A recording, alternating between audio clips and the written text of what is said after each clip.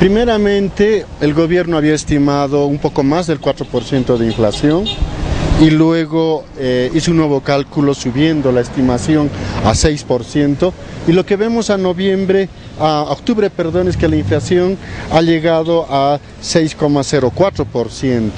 Esto quiere decir que a diciembre va a aumentar un poco más. Ahora, si la inflación medida por el INE, es decir, la oficial, ha subido en esa magnitud, esto quiere decir que en la realidad los precios han subido muchísimo más. ¿Por qué en la realidad? Porque sabemos que hay una gran diferencia, una brecha enorme entre la tasa de inflación que calcula el INE y el aumento real en los precios que los ciudadanos vemos cada día cuando vamos a los mercados. Cuando uno ve la información por la inflación por productos, comprueba que los alimentos han sido el rubro que más ha subido.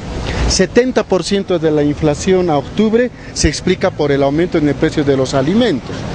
Esto significa que si midiéramos la inflación con la canasta básica del año 90, cuando, cuando, los alimentos tenían una ponderación mayor, con seguridad que la inflación a esta altura del año ya debería estar por, eh, por los dos dígitos.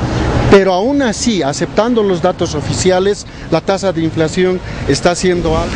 Ha sobrepasado la estimación porque a diciembre la inflación no podía estar eh, más allá del, del 6%. Hay un incremento en el precio que se paga en el transporte en taxi, en radiotaxi y en minibús por los tramos. El efecto del, eh, el, de ese anuncio del incremento en el precio de la gasolina debería verse en la inflación de noviembre recién.